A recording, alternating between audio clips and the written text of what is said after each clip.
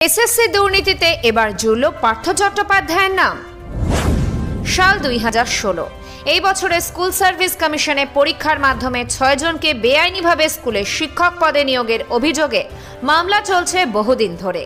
একের পর এক আধিকারিককে জেরা করে চলেছেন বিচারপতি অভিজিৎ গঙ্গোপাধ্যায়। এবারে তৃণমূলের মহাসচিব তথা শিক্ষামন্ত্রী পার্থ চট্টোপাধ্যায়ের নাম জড়ালো এসএসসি কাণ্ডে। এই দুর্নীতির সাথে পার্থ চট্টোপাধ্যায় জড়িত ছিলেন বলে জানিয়েছেন স্কুল সার্ভিস কমিশনের তৎকালীন উপদেষ্টা শান্তিপ্রসাদ সিনহা।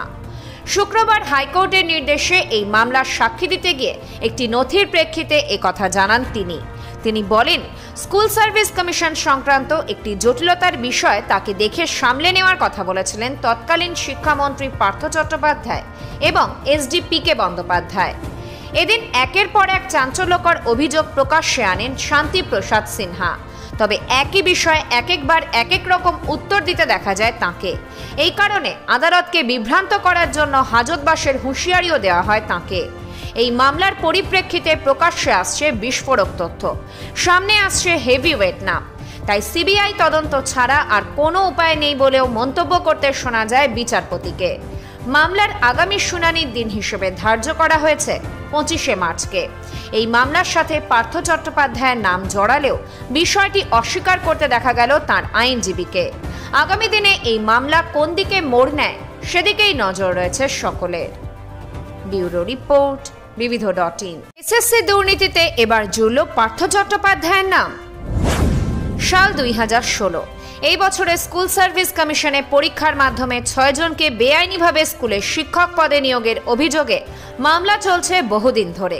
একের পর এক আধিকারিককে জেরা করে চলেছেন বিচারপতি অভিজিৎ গঙ্গোপাধ্যায়।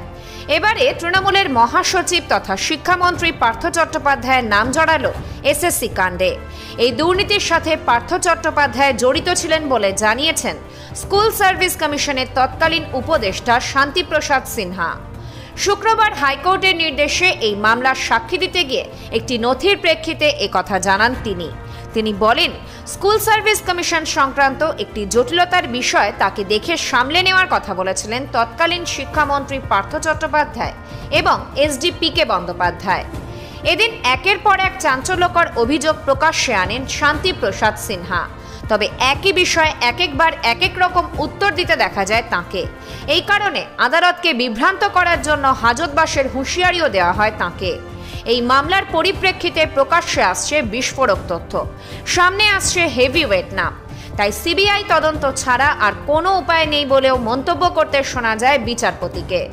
মামলার আগামী শুনানির দিন হিসেবে ধার্য করা হয়েছে পঁচিশে মার্চকে।